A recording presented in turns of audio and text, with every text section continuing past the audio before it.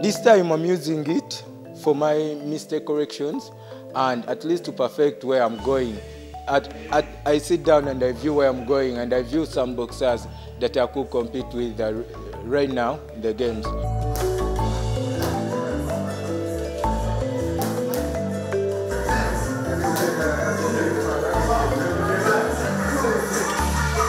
I'm compete.